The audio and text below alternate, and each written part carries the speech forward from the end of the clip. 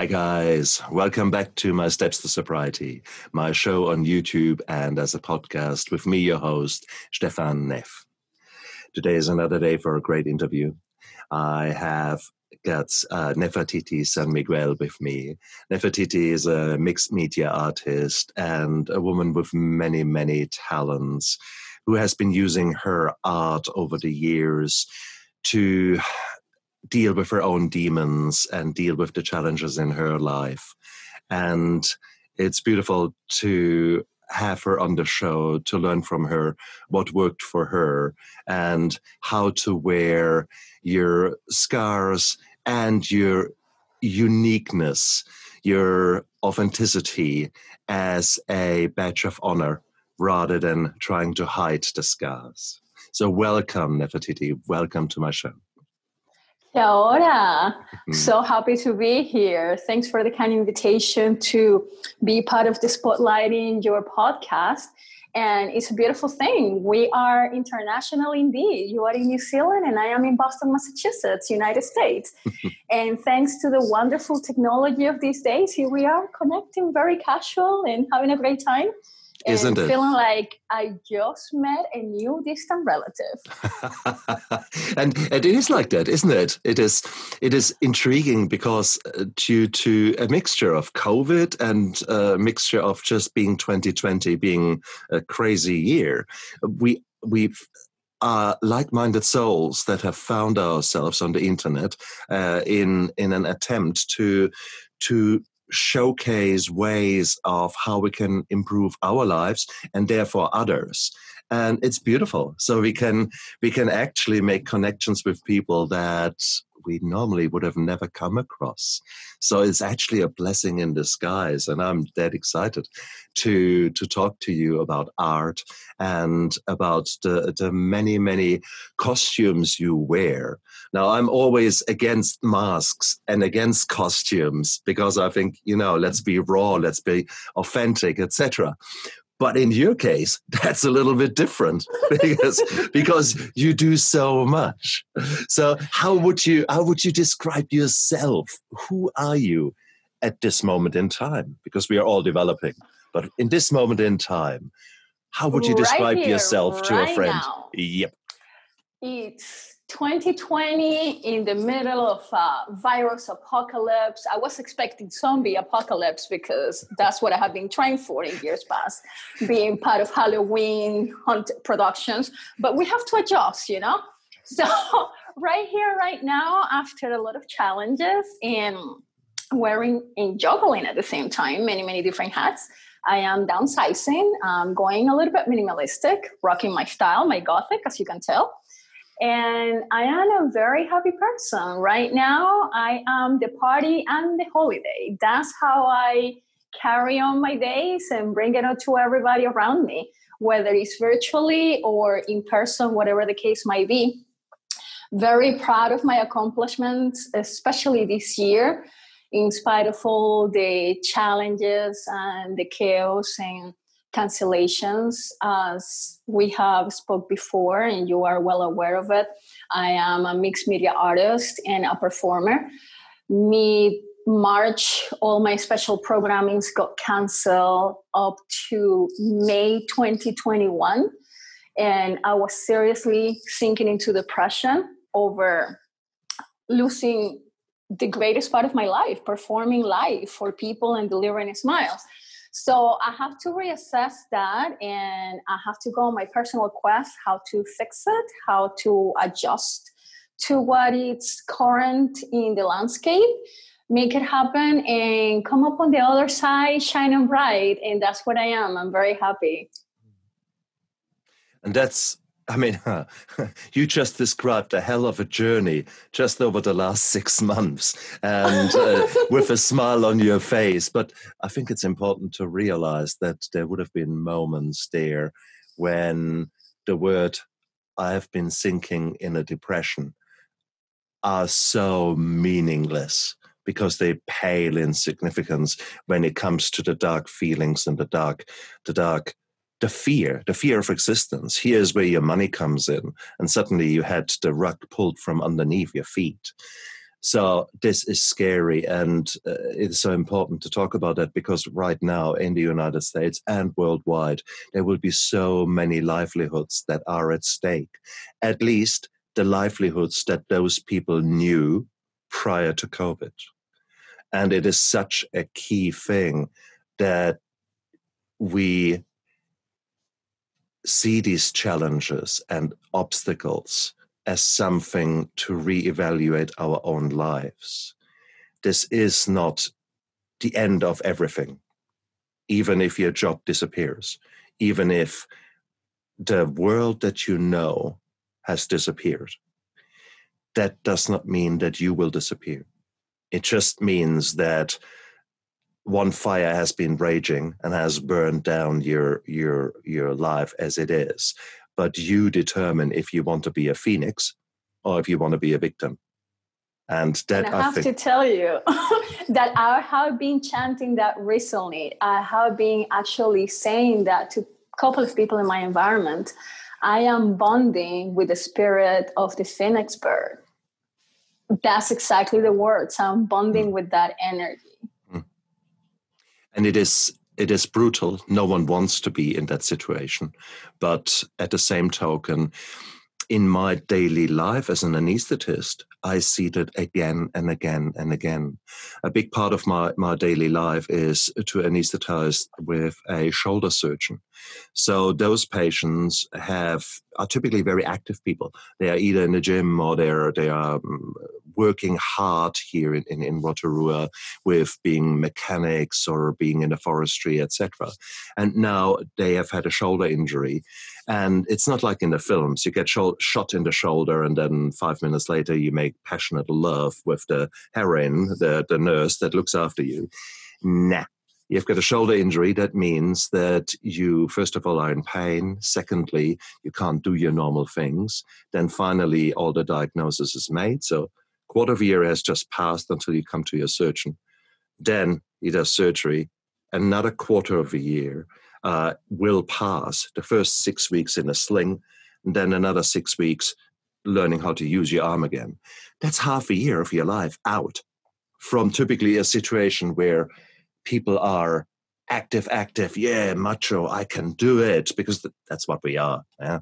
And to suddenly stop, nothing happens for six months. And I see that again and again, and people's lives fall apart. So the same, the same emotions that we have just uh, touched upon, the frustration, anxiety, where's the money coming from, fear of existence, all these things. It's there's so many people out there who you don't have to lose your job in COVID. It could be a simple injury where exactly the same things apply. It is it is a huge challenge and you have just gone through. I mean, you, how, what was the flow of events? You knew suddenly, damn, everything is cancelled. And initially, there would have been fear. How did you deal with that fear? I have to do sort of an analogy. I felt like doing a whitewater rafting expedition. I was having a great time. Everything is looking wonderful. You are enjoying the scenery. You are getting naturally high on life. I was on the spotlight. I was performing. I was partying. Oh, you name it, I had it on my hands. So then it's like you get thrown overboard and you are just like drowning. Who's going to pull you out? Is somebody left on the raft that is going to get you back in? And you start looking around and you just have to manage you have to figure it out how are you going to survive that episode and get back on the raft and enjoy what you were enjoying and don't drown because literally it's either sink or swim and we are not sinking here so you do whatever it takes to get back on that raft and that's what i did but it was extremely challenging I was going up and down like a roller coaster. Um, I could manage three hours of happiness. Then I will be what we call in Buddhism monkey mind. That monkey mind was working overtime. And then you start wondering well is it really going to work out for me? It's not looking good in the rest of the world and do i sing with the rest of them? And it's not a good place to be. But again we have two choices. Either you manage or you go under and for me the going under is not an option so we have to be resourceful and we have to come up with ideas and that's what i started doing I love being on the spotlight. That's my passion. That's my life. And I will be doing it until the end of my days. There's no question about that in my mind. So I have to figure out how what's going to compensate for the losses of stages and life events. And I went on a quest. What are my options? How can I get out there? Everything's going virtual. I'm not thrilled about going virtual, but if that's the option and that's the new reality, well, I will have to get used to it. And that's how we met in the virtual world. And after going through all my challenges and ups and downs, I have told people in my close environment that I am happy with the result. And if it wasn't because I had been forced and force fed to change and adjust and look at possibilities and new options never explored before, I will have to give up my passion, which is performing and being on the spotlight.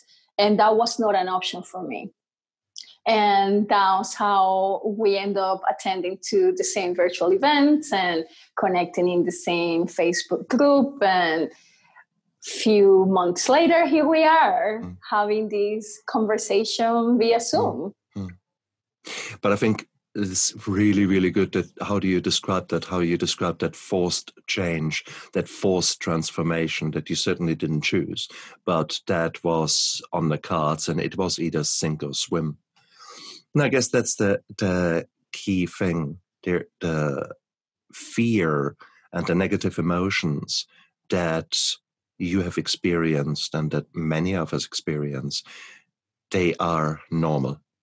It is absolutely okay to be shit scared. It is absolutely okay to be depressed and down and out and to grieve because you have just lost part of your life. And that's okay. It's absolutely okay. On the contrary, that's normal that you actually feel like that. Oh, I had to do it. Mm. I, there were nights that it got to be 3 a.m. in the morning and I was crying my heart out like I just lost the love of my life. And it, it, was beyond pain, it was beyond misery and suffering. Mm but it comes down that you have a duty and obligation to yourself. Nobody else is going to do it for you. To pursue happiness and make the best of every situation. And that's the only option. There's no other one because uh, science, yes, it suits a purpose, but it's not going to rescue you all the time. And the government is not going to come and rescue you. And the relatives and employers, nobody's going to do it for you but you. So mm. the obligation and the duty is from you to you and make it happen. So, absolutely true. And I guess that's the key thing. For me as an anesthetist, I have learned in my professional life to always expect the worst and to always have a plan A, B, C, D. And once I come to plan K or plan Z, I typically am running for the hills. But up until then, I'm well prepared. But that's that's not how many people live their life.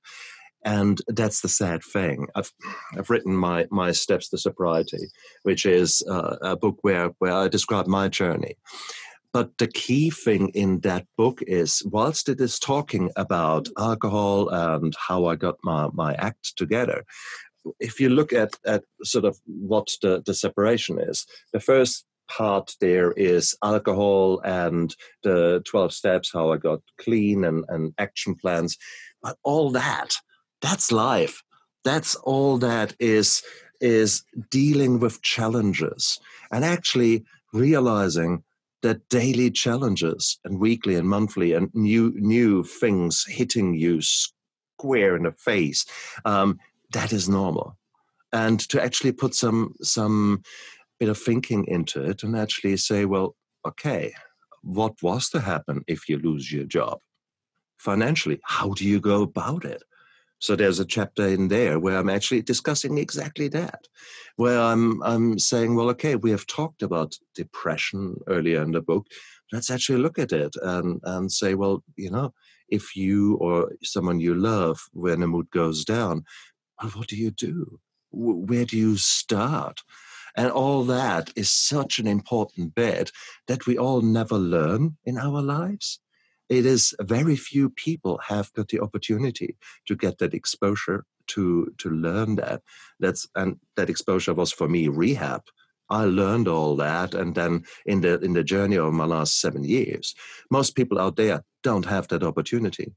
Certainly the schools don't teach you how to recognize depression and and uh, and action plans how to get out of it or talk about ptsd or talk about x y and z so this is where you guys need to realize that challenges will happen and then listen to someone like Nefertiti and, and, and me to sort of figure out, okay, how did these guys do it?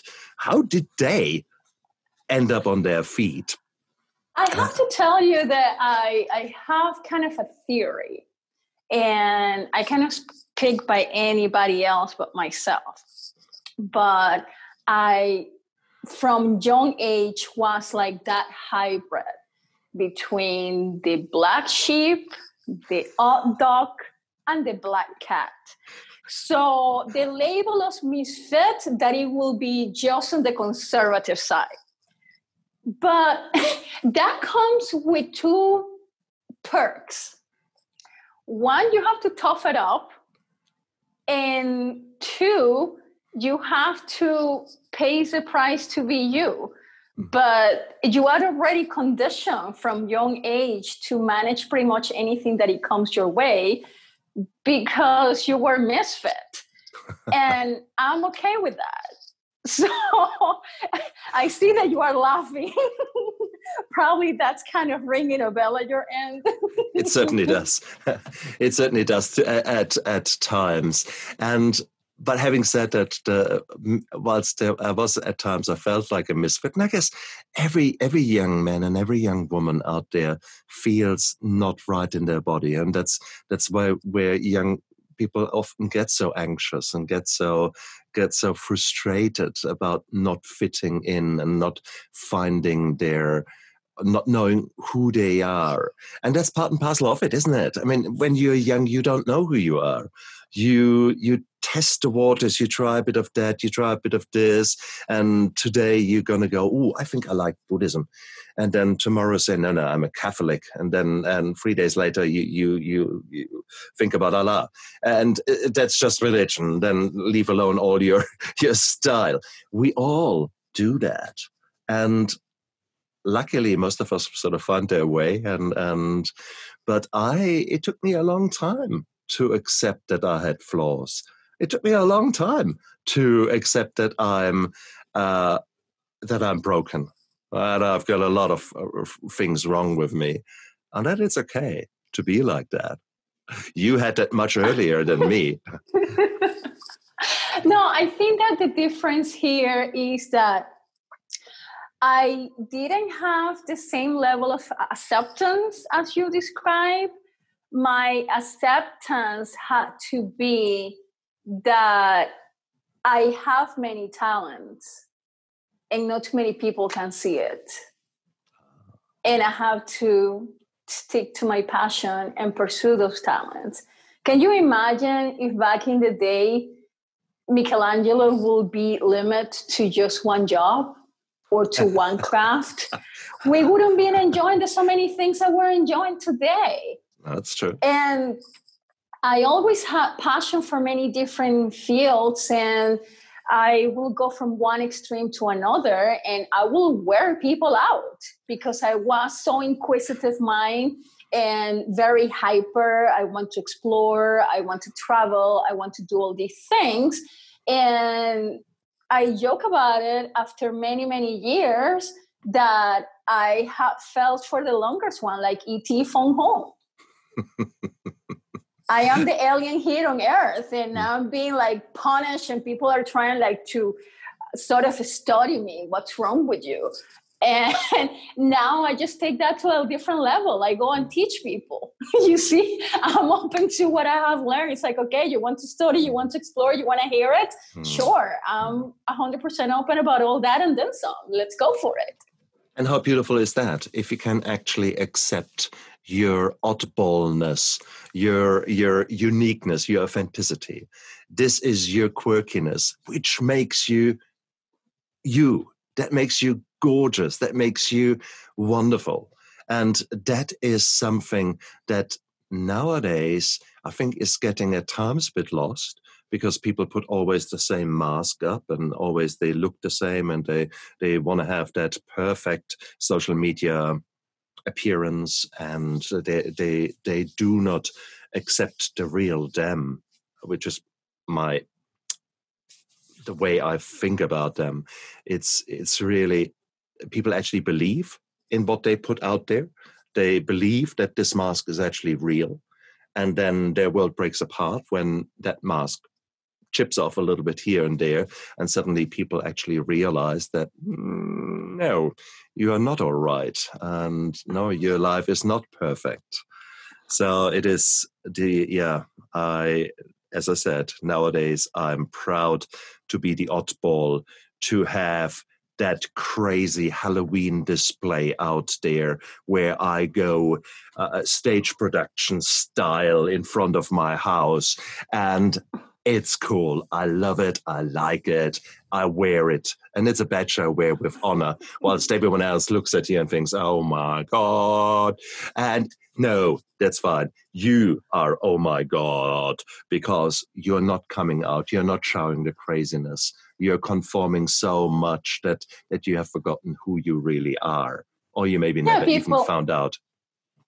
Well, people are calling their Sam Shaw and that's a pity. Why are you going to cut yourself short? Mm. if you don't go on and unleash the creativity and that's one of the things that i bring into my educational programs unleash the creativity. Because it's very sad. I get people from all ages all different cultural backgrounds and different financial status and they are like freaked out about art. Oh i am not creative. Of course you are oh no no no somebody else is creative no let me break down to you sweetie uh-huh. you are creative you just got conditioned to think that you are not but give me a few hours and i will show you otherwise because that's my mission in life that's what i do I stir up the pot. Absolutely. Yeah, give you an example here in New Zealand. In Rotorua, we have got a thing called the Coffin Club. And the Coffin Club is literally where elderly folks come together for social uh, getting together once a week, and they're actually building their own coffins.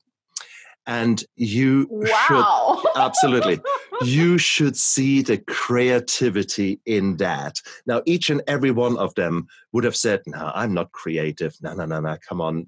What do you mean? I'm an artist." You should see what they are. One girl was a petrol head so she left her car. Now she her her coffin is decked out like a Formula One uh, racing strip car. Fantastic. The other one loved Elvis. So, so on the inside of her coffin is this life-size Elvis uh, picture on there that she has oh made. My, exactly. So when she together, that's right. so talk about creativity, and these are people. Each and every single one of them would have never uh, described themselves as an artist. These are salt of the earth people, and it's just amazing, amazing what suddenly comes out of them when they are let loose. And uh, well, that's the key. Let it? loose. Absolutely. Yes. so therefore, every I agree with you. In all of us, there is an artist, and we typically have hidden that that playful, creative kind of thing that is normal when we are young children. That has been beaten out of us. That has been uh, deemed uh, deemed wrong when you grow up And that's so, so sad because my creativity since coming out of rehab has gone like an explosion of of of force. And it's beautiful.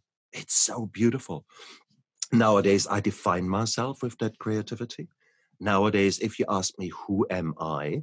Now for a long time i could have not answered that for about two years after rehab i could have not given you an answer and then things started to explode and that was creativity and that was art that rescued me to a certain degree. That's how I define myself today. So uh, the question is for you guys out there, what nut job are you? What oddball are you? And where that? Where that? Go out there, figure that out. That's it. I, you know, give me a run for the money when it comes to Halloween. Okay, that's odd. Why do I need share? Oh yeah, exactly, exactly. Well, there's the point sharing. That's it. That's connection, and that's so important because when you're depressed, when you're down and out, you isolate yourself.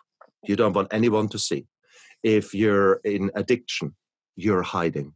You're hiding everything the shame, the guilt, the trauma. It's all hiding, hiding. You're not coming out. Whilst when you actually get into recovery or when you when you deal with the negative emotions in yourself you suddenly link up with other people and you realize, whoa, they're going through similar trauma or more, and you had no idea. And here you think you're all alone. And then suddenly you you end up on an ikebana course, and you think, okay, let's let's see flower arranging. Why not? Why? And suddenly you realize, bloody hell, these are cool dudes and cool cool girls around there, and it is. And you become wicked good at it too. Exactly. and that's that's just Ikebana. And so and here you are. Obviously you have you have gone through so much. You're you're a true thespian, a woman who loves the stage, who loves to perform. That in its own right uh, has a history, no doubt. Because uh, some children are born like that. Uh, that's true. But at the same token, it is a beautiful coping mechanism to defuse things. So, as a child, you would have at some stage figured out that you performing might actually put a smile on someone's face and might alter the chemistry that is going on around you. Uh, can you remember that this was a fact or? Actually, my story from back in the day, it's going to blow you away, to be honest with you. Shoot. and I think that you're going to be the first one out at this level of being out in the public eye for me to say and share this. I have said this story to close friends and people one on one that they ask about life experiences. But let's back a moment. I was born in Venezuela. So over there, people are not as tall as me, but my interracial mix that I have in the DNA, I am a bit above average.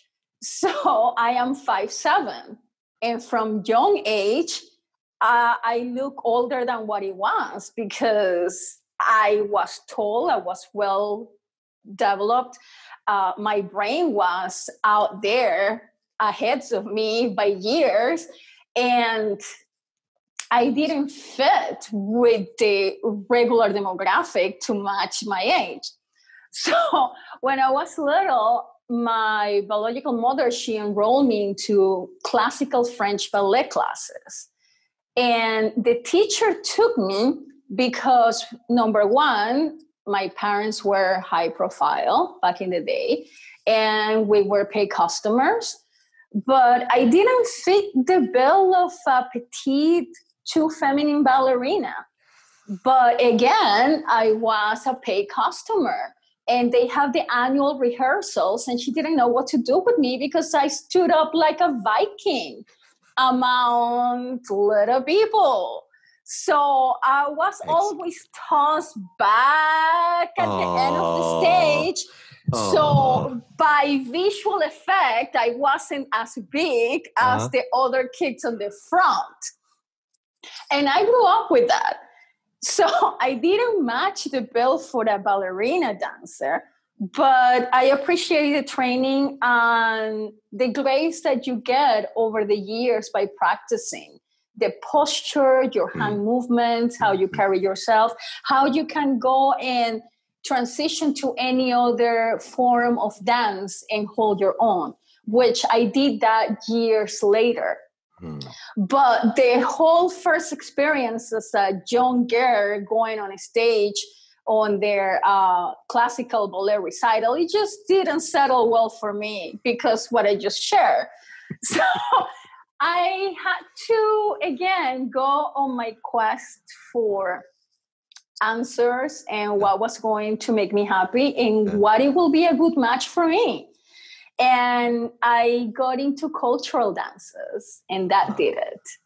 Nice. Because I was exposed, for example, to tango, Latin Beautiful. dances, flamenco, sevillanas, I had the opportunity in 2000 to live in Hawaii. That was a life changing experience for me. I got kind of immediately adopted by a traditional Hawaiian family and I got trained very formal in old tradition fashion how to do the Hawaiian hula dance.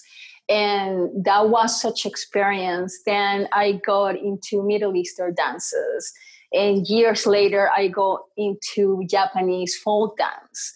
And when I was living in South Florida, I was part of a performing group for the Japanese Museum and Garden. Uh, and the ladies who used to do the annual festivals, they were ancient and they will go on a stage and it was so beautiful.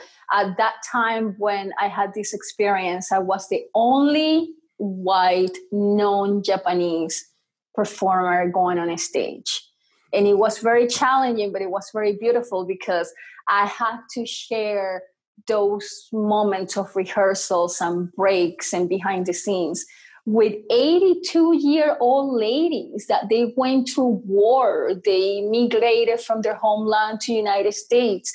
And the level of connection that evolved out of those sessions is, was beautiful.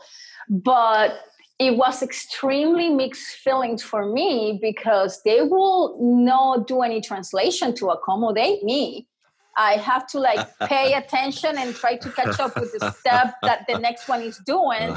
And Japanese dance is very different from Middle Eastern, Hawaiian, oh, yeah. Oh, Tahitian, flamenco.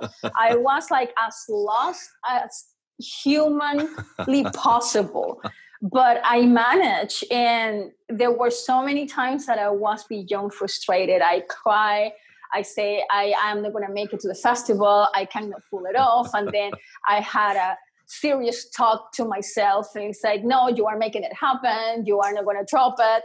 And I learned 10 dances, 10 dances for the season.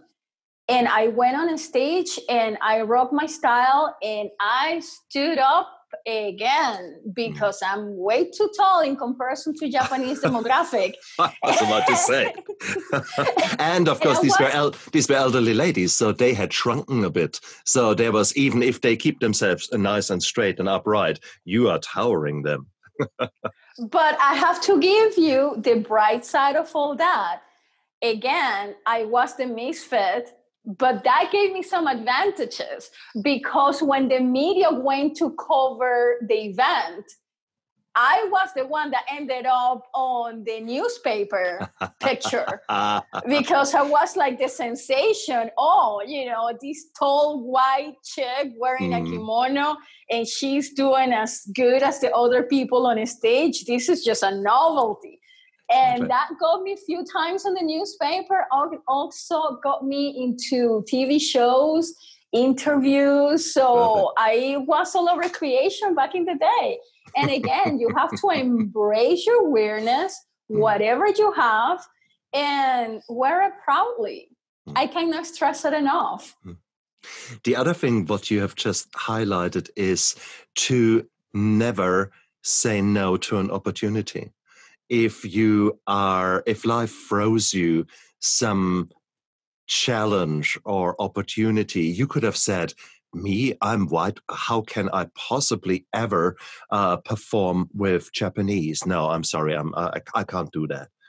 That could have been one answer, and you could have had that door closed just because of your own misbeliefs, because your own fear to put yourself out there.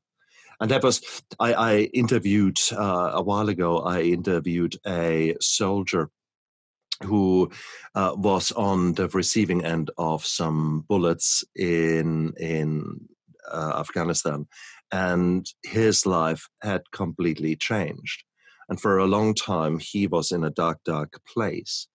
But then he turned and he changed, and from then on, he took every single opportunity that was given to him when the VA said, Would you like to learn how to golf? He said, Sure, I will learn how to golf.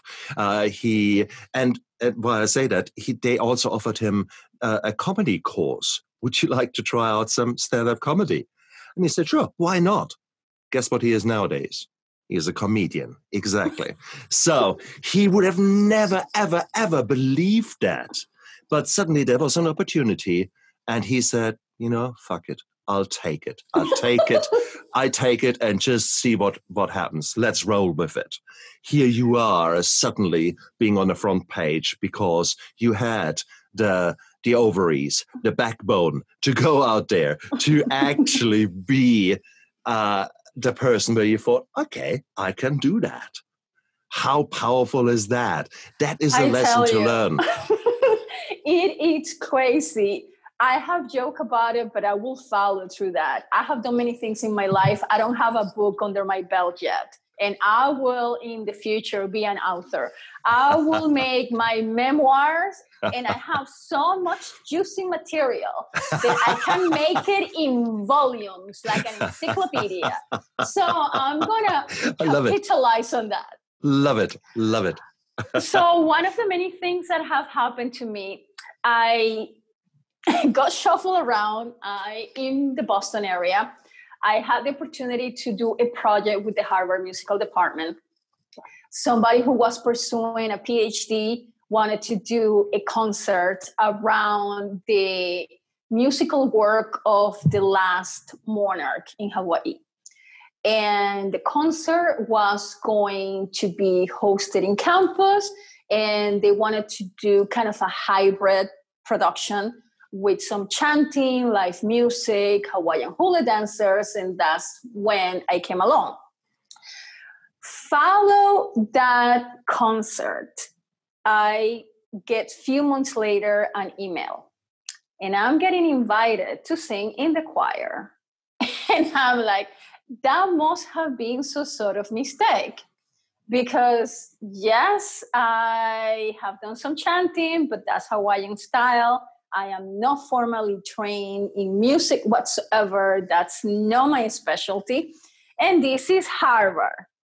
So, being the proper, with a diplomatic background person that I am, I take the time to reply to the sender of the email with invitation. And I say, thanks for thinking about me. This must have been some sort of confusion yes, I have been part of a prior production hosted by Harvard, but I was in the capacity of a Hawaiian hula dancer. I am not a singer. And the lady tells me, I am taking over the department. I remember you from the concert. I was part of the production, and I would like to invite you to sing with us. And I'm like, you must be high. So I say to the woman, I reply by another email and I say to her, I'm quite flattered, but I think that you are missing the fact that I'm not formally trained in music. Yeah. I cannot read musical sheet.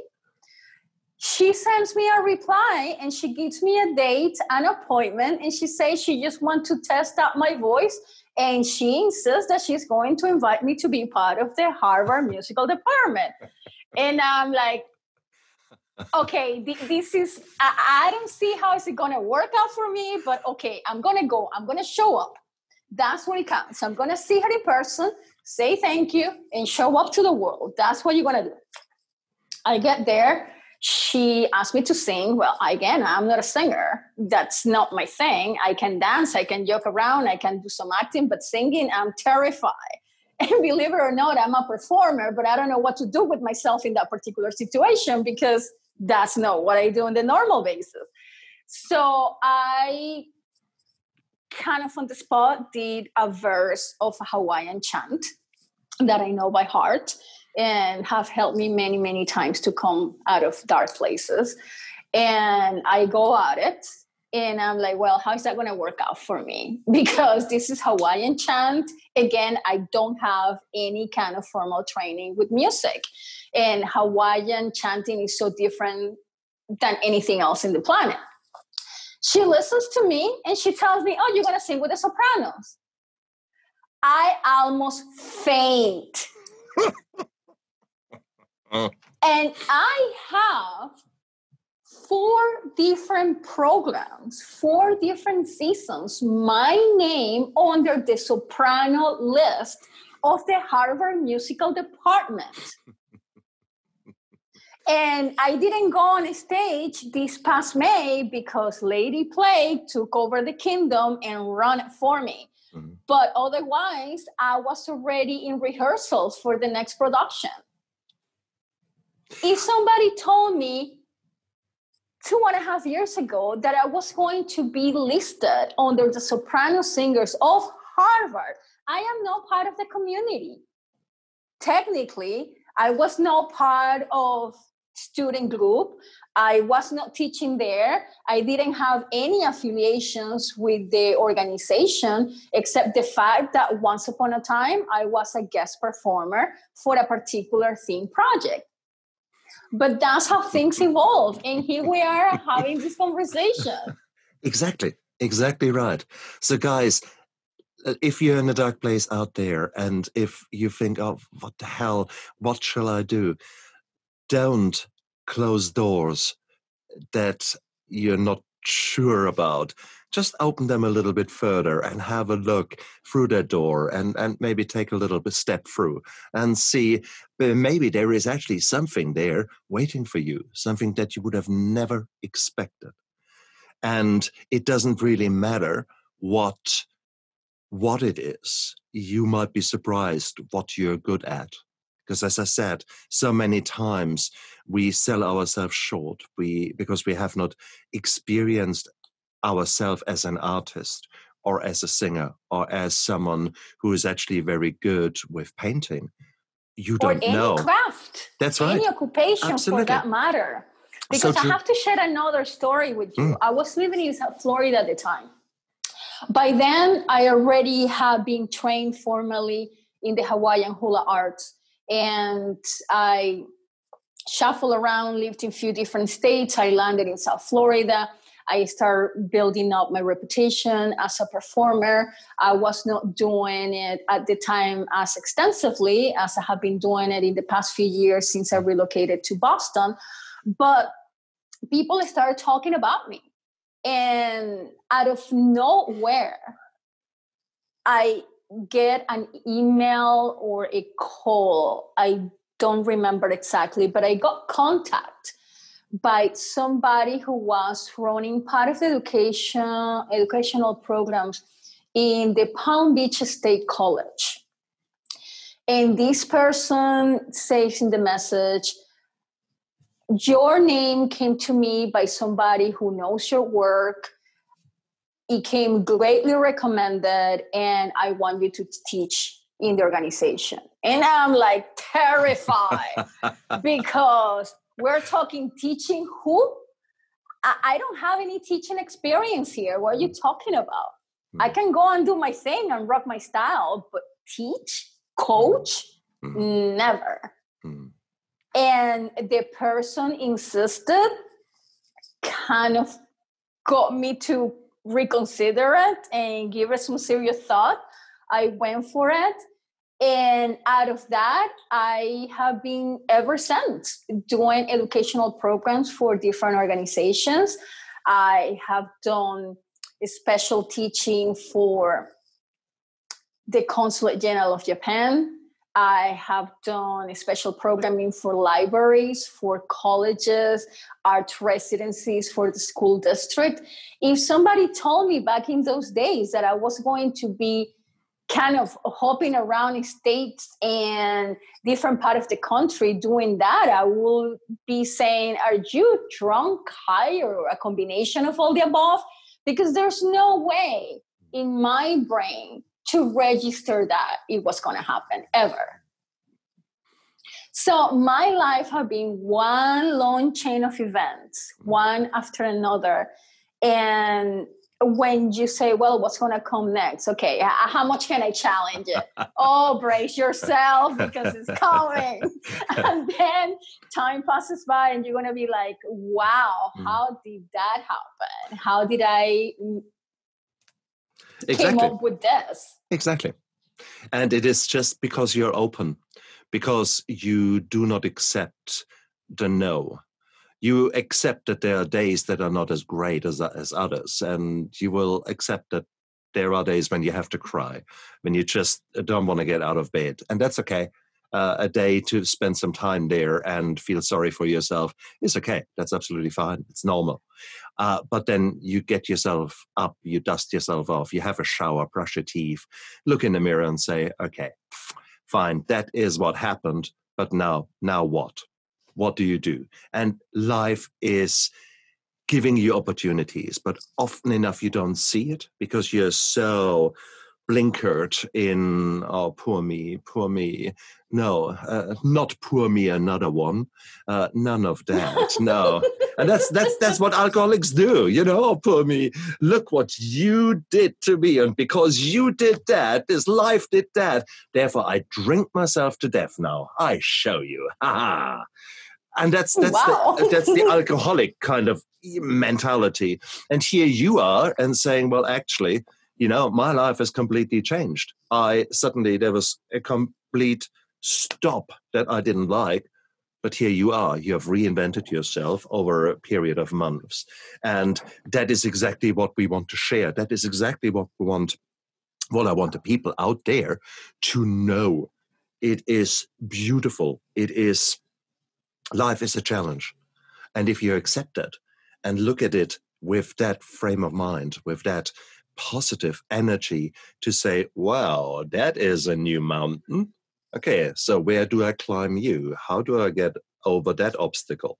And that is a very different story than saying, oh my God, that's a big mountain. Oh, I don't know what to do now. Well, if you don't know what to do, that's great. You've figured out you don't know what to do. So now the question is, what? How can you how can you find out? Well, the answer is probably connection with others, because you always want to be the dumbest person of your team. So if there's a new mountain that you have no idea about, then you better find some mountain guides and actually start talking to people. And if that mountain is postnatal depression, then there are other mummies out there who have gone through it and have learned what to do. And so maybe in a in a in a group of mummies, you might find the answer. Or you might find the answer when you talk to your GP or family physician, because he will have had many, many others who have been in your boat with PTSD. And you might say, hey, did you know there's actually a great group there where you can talk to others who have been in the same situation? Or to that, hmm? I have to add to the conversation a few things because they are all related. Number one, we have to be mindful and conscious about resistance because there are two different kind of resistance in my opinion there's a resistance that you get from the environment whether it's the people the circumstances the challenges that's one kind of resistance but then you have your personal resistance your doubts your dialogue. I am not good enough. How can i pull that off? And you have this ongoing conversation that is not getting you anywhere.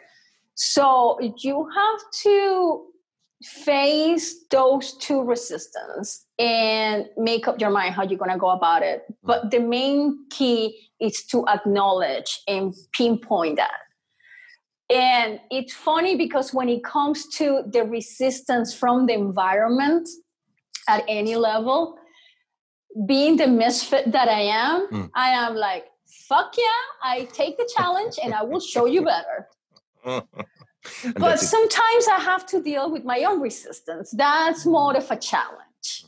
Mm-hmm. That's one. The other one is that it doesn't matter the level of resistance from you or the environment. The key is how you show up to the world and how you carry yourself because you might not be trained in a particular craft, but people pay attention. Are you responsible? Are you passionate? Mm. Are you a flake? Are you going to disappear? Are you committed to what you said you're going to do? People indeed pay attention to your character. And when you show up at your best and at whatever circumstance or scenario is, you over deliver. Mm. Let me repeat this. Mm. You over deliver. That gets you to far away places. That's how I have done some serious, crazy shit that I never imagined.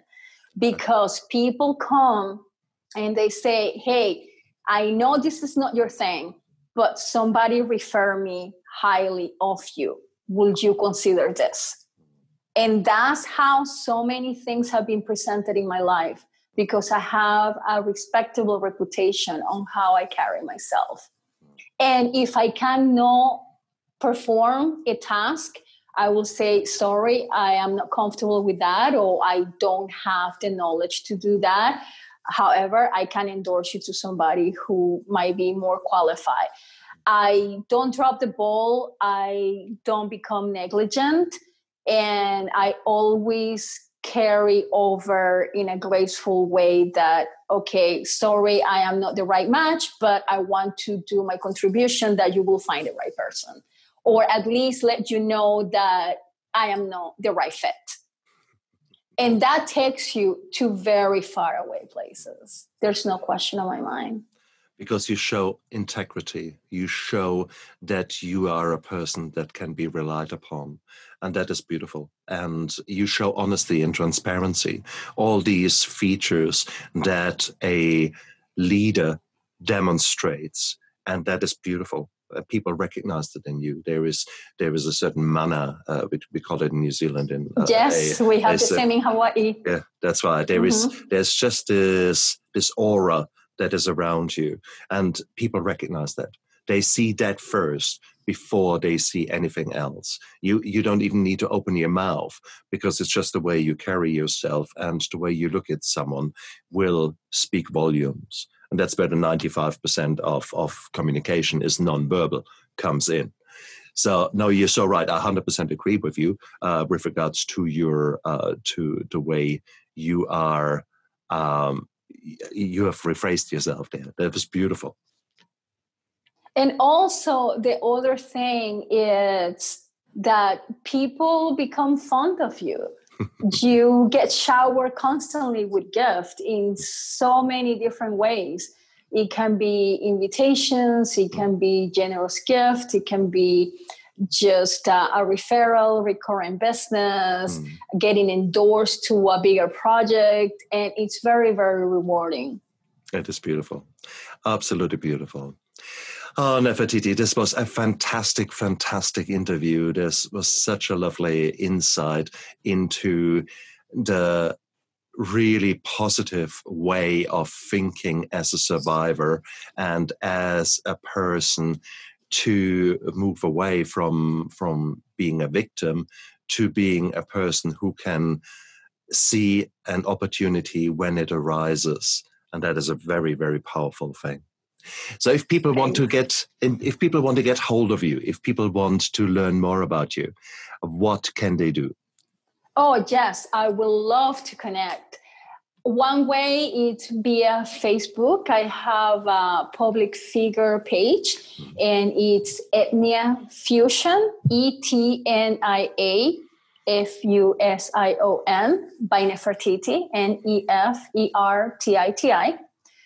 Also, I have my email address that it's the same name, etnia.fusion at yahoo.com etnia dot f-u-s-i-o-n at yahoo.com one of those two ways it will be delightful to connect with other people. Open to do virtual interviews virtual activities educational programs and of course if anybody happens to be in the area i would love to be a tour guide and show off my beautiful city beautiful Beautiful. And guys, uh, just look down there in the description of the podcast and of the YouTube video. Uh, we will have the links in there so you can just click on that and take it easy. Nefertiti, thank you so much. That was a great interview. Thank you. It was an honor to talk to you and learn from you. Kia ora and much aloha. So delighted to be part of this episode, and I look forward seeing you soon again, even if it's virtual, but maybe in the future we can make it happen in person. Cool. And you guys out there, look after yourself. Bye.